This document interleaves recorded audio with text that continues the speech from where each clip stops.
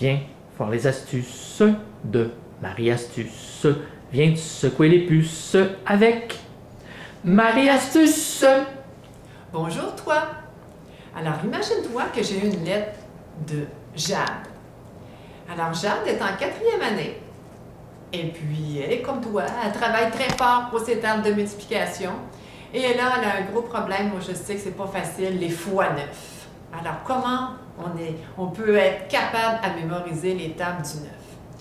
Alors, euh, on va, Marie-Astuce, elle va te donner des petites astuces pour ça. Alors, si tu regardes ta table de multiplication simplifiée, les fois 9, moi, je ne les ai pas tous mis.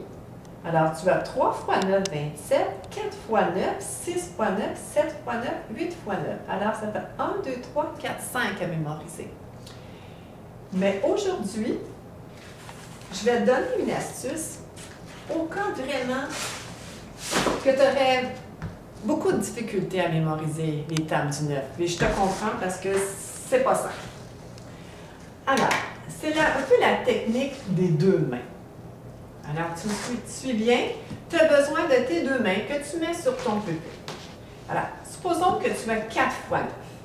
Alors, 4 fois 9, je plie, je, ferme mon quatrième doigt. 1, 2, 3. Tu vois, le quatrième, je ne le vois pas. Comme ça. Et je mets les autres. Alors, si tu regardes bien, le nombre de doigts avant le 4, j'en ai 1, 2, 3. Ça fait 3. Et quand je continue, je regarde le nombre de doigts à droite du quatrième doigt. 1, 2, 3, 4, 5, 6. Alors, ça me fait 6. Le chiffre 6 ce côté-là et le chiffre 3. Mais c'est 4 fois 9. Si tu regardes bien ta table, ça fait 36.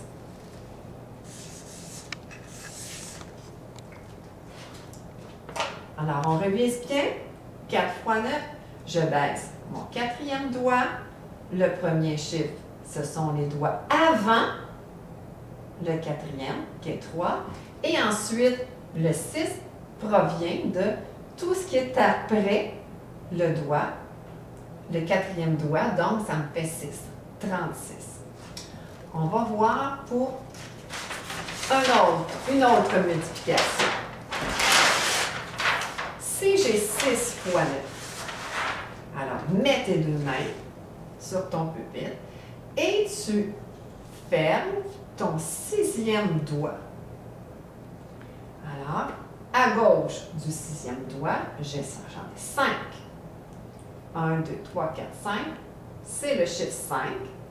Et ensuite, à droite, après le sixième doigt, j'ai 1, 2, 3, 4 doigts qui me restent levés.